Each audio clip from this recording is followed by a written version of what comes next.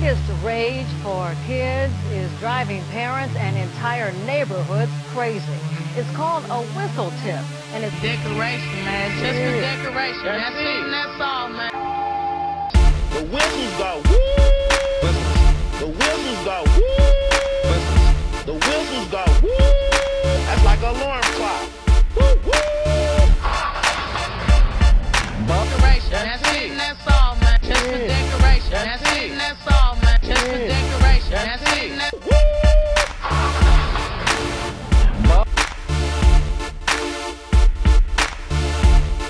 High-pitched tone, keeping her awake at night. The high-pitched tone, the high-pitched tone. Police have told her it is legal. So that's like an alarm clock. Okay, it's not going away. Okay, it's not going away.